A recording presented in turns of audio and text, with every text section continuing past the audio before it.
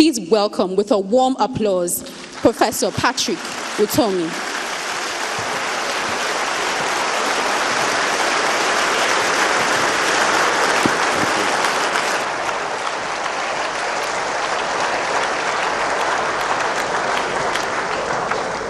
Thank you so, so very much. Uh, one of the dangers of wearing a parachute is, the possibility that you can trip. So I had to be very, very careful. But I am so grateful uh, to Pastor Poju for this great idea.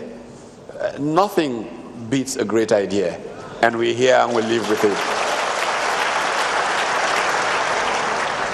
Very distinguished ladies and gentlemen, I have chosen to speak to a very simple subject, but it's a subject that is really at the soul of the essence of my being because, in many ways, the subject remains the central part of my struggle to think over the last 50 something years. And, and why do I say so?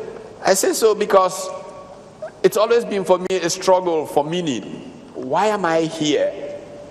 And anybody who does not ask that question misses the very essence of their being. Why are you here?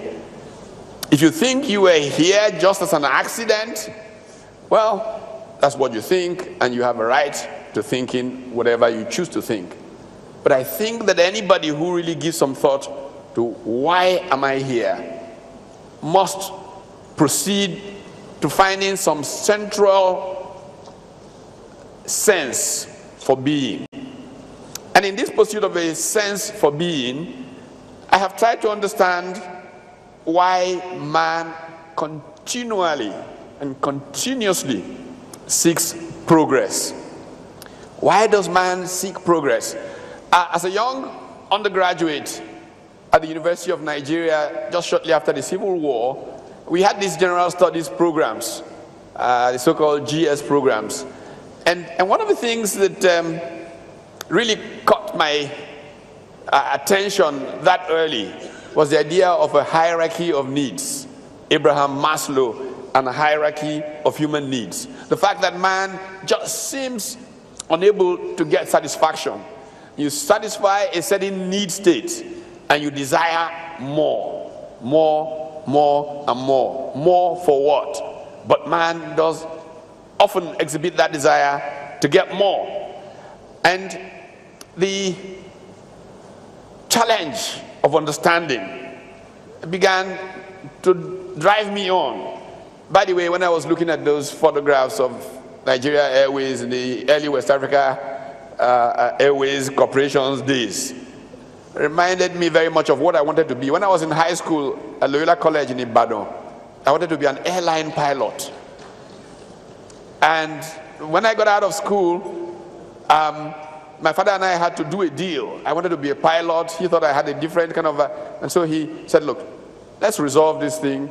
Um, the, the, friends that you can rely on in life are the ones you make in in university, your roommates, and those kinds of people. You can trust them no matter what happens to you in life. So why don't you go to university? Spend a year or two, learn a few things, make some friends, and then you can come out and go to flying school. Well, as I like to say, when I got to university, I ran into something called the library. And instead of going to flying school, I went to graduate school. but during that period, as I struggled to find meaning. One of the things that came clear to me is the essence of man in creation. And I often refer to myself as a Genesis 2:15 person. The fact of taking dominion over this earth really translates to man being created to be a partner with God, a co-creator with God, moving creation towards his perfection. And so that fundamental essence of being as a co creator, as a partner, has led me to asking constantly the question what shapes human progress? What really does make us make progress?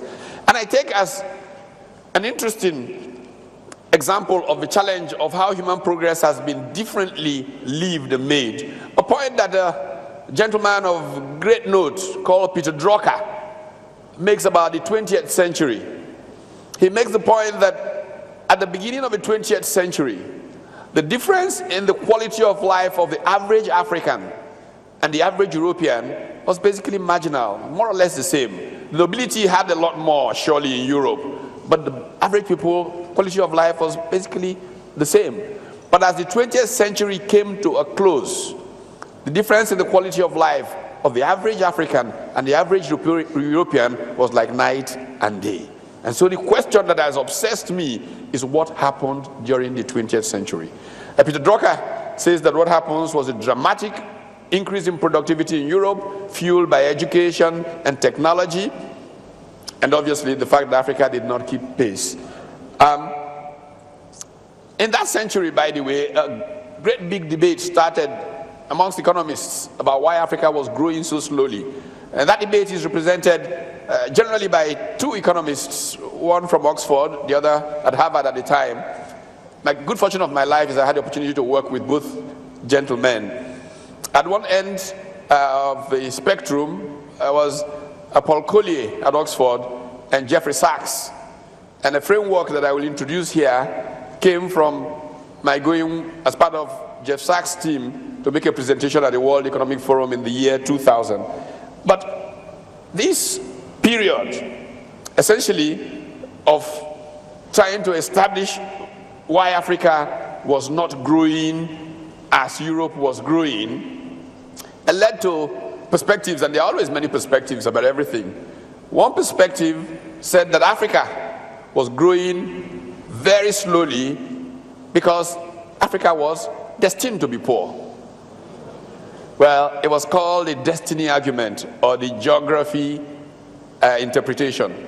Africa was in the tropics, and so that little small insect called the mosquito was inflicting malaria on the people of Africa, and so people of Africa were too weak to produce, and so productivity was low.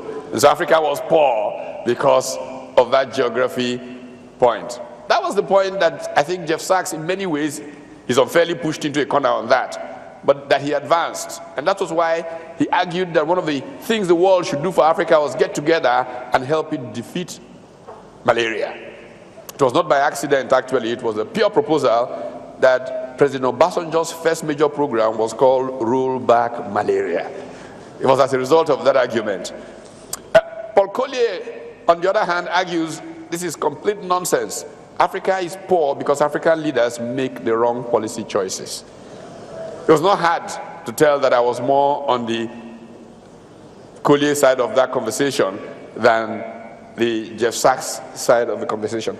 Anyway, I got a chance, like I said, to work with uh, Jeff Sachs on the Africa Competitiveness Report. And when this report was being presented in the year 2000 at the World Economic Forum uh, Southern Africa Summit in Durban, um, a very humorous president of Mozambique uh, asked a question. He says, look, you experts have come again. Every time you tell us that, uh, you know, if we want to attract investments and grow our economy, we must do X, Y, Z and we faithfully obey. But what you say will happen does not happen. Say, first of all, you say we should tighten our belts. And we began to tighten our belts. The belts became so tight that you could not see anybody, all you saw was belts. but the investments did not come. And we went back to the World Bank and we said, Look, our belts are so tight, we don't have body anymore. And they said, You see, what you need to do is be patient. And so we became so patient that our middle names became patience. but investments did not come. And we said, oh my goodness, World Bank, what are we going to do? And they said, you see, people want to see track records. So we went back home, we're laying down tracks, and we're making records. But investments did not come. Um, it occurred to me as that humorous exercise was taking place that in many ways, part of the problem of the multilaterals in advising us in Africa is an inclination towards unique causal analysis. The cause of your problem is this one thing or that thing. Clearly, a set of variables which were interdependent were interacting to produce the African condition. And I went back to my hotel room and began to sketch something. That thing I sketched works out to what I call the growth drivers framework and the central organizing theme of my book, Why Nations Are Poor. The growth drivers framework essentially captures a, a number of variables that I suspect more than infrastructure and some of those uh, things we often talk about are responsible for why growth is not taking place as it should take place